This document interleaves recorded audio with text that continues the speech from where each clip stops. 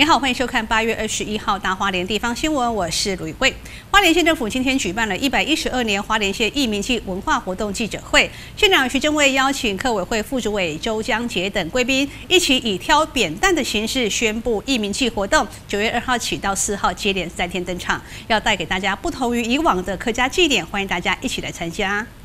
一百一十二年花莲县义民祭文化活动九月二号起一连三天登场。客家事务处处长潘前健表示，今年活动结合了传统和创新，要让更多人深度体验客家义民爷信仰的内涵。今年的客家义民祭活动呢，呃，县长有特别指示要创新跟传统，所以我们在传统上面呢，仍然会有挑担跟奉饭，还有五线礼。创新的部分呢，我们加了放水灯、吃糖粥，以及国中小的作文等，对义民节、义民爷爷认识的一个作文比赛。另外，花莲的客家是来自于其他部分地方，所以我们办了一个客家移民史的一个资料，在九月三号的会场上面会有显示。县长徐正伟也表示，今年在世界客家博览会当中，花莲馆展现出花莲客家族群溯源历史，还有很多精彩的推动成果，让大家看到花莲各族群文化的融合，蜕变成太平洋左岸中不同的客家文化。我们在这几年做了非常非常多的溯源的工作，溯源是让我们了解我们从何处来，然后。定居在这里，跟各个族群如何去融合而迸发出新客家的火花。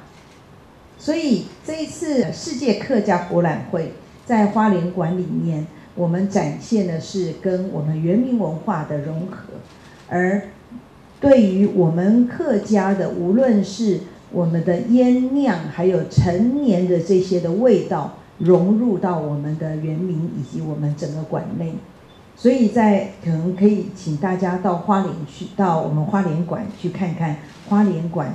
有我们的饮食文化，也有我们的，也有我们的这个呃在地的客家人，成为各业界的翘楚的分享。所以，嗯。呃，客家艺名记，在我相信在这一次会有很大很大的不同，而且很多的新的亮点。一百一十二年艺名记文化活动，九月二号要在七角川西进行放水灯，九月三号在客家文化园区有吃糖粥、挑担祈福、客家八音及艺名文化创意表演，现场还设有客家美食摊位及趣味游戏体验。九月四号，义民节这一天，将在花莲义民堂、凤林长桥义民亭，还有富里竹田义民亭同步举办祭祀祈福活动。县政府欢迎所有乡亲能够共襄盛举，来感受花莲最精彩丰富的客家文化祭祀庆典。谢瑞会换事报道。